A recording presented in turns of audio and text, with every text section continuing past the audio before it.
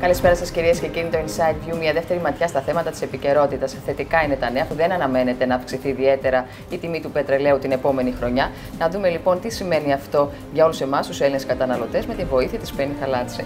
καλησπέρα. Καλησπέρα, Τέτα. Η τιμή του πετρελαίου λοιπόν δεν αναμένεται να σημειώσει ιδιαίτερη αύξηση την επόμενη χρονιά.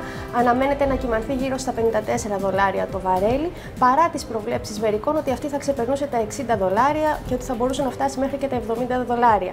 Βέβαια, οι αναλυτέ είχαν κάνει λόγο για τόσο μεγάλη αύξηση βασιζόμενοι στην πέρσινη απόφαση του ΟΠΕΚ για μείωση της, ε, στην παραγωγή, κάτι που θα έδινε όθηση στην τιμή του πετρελαίου. Αυτό βέβαια ε, δεν δείχνει να επιτυγχάνεται, καθώς ε, οι ΗΠΑ, οι Ηνωμένες Πολιτείες έχουν αυξήσει την παραγωγή από σχιστόλιθο, κάτι που λειτουργεί ως αντίρροπη δύναμη και αυξάνει τα παγκόσμια αποθέματα. Τώρα, τι σημαίνει αυτό για τους Έλληνες καταναλωτές; Αυτό σημαίνει ότι ε, οι Έλληνες καταναλωτές, επιχειρήσεις, βιομηχανίες και νοικοκυριά ε, θα ξαναδούν το ίδιο έργο με πέρσι, ε, δηλαδή θα, θα έχουν το ίδιο ενεργειακό περίπου κόστος.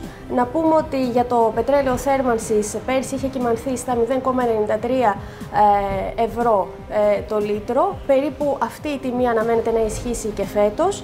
Ε, βέβαια, οι παράγοντες, παράγοντες της αγοράς έχουν αρχίσει ήδη ε, να στέλνουν υπομνήματα προς την κυβέρνηση για να μειωθεί ο ε, φόρος κατανάλωσης στο πετρέλαιο, ε, καθώς πέρσι είχε φέρει μια αύξηση της τάξης των 6 λεπτών ανά λίτρο, μια σημαντική αύξηση ειδικά για τις ευάλωτες ομάδες. Βέβαια, εδώ πρέπει να πούμε ότι παρά την, την την μικρή αύξηση που θα έχει η τιμή του πετρελαίου ε, και τις καλές τιμές που αναμένονται στην αγορά, οι καταναλωτές θα πρέπει να είναι υποψιασμένοι, να κάνουν πάντα έρευνα αγοράς όταν είναι να αγοράσουν πετρέλαιο θέρμανσης ή βενζίνη, καθώς υπάρχουν αρκετοί επιτίδιοι οι οποίοι δεν μετακυλίουν την όποια μείωση της τιμής στην τελική ναι. ε, τιμή πώλησης.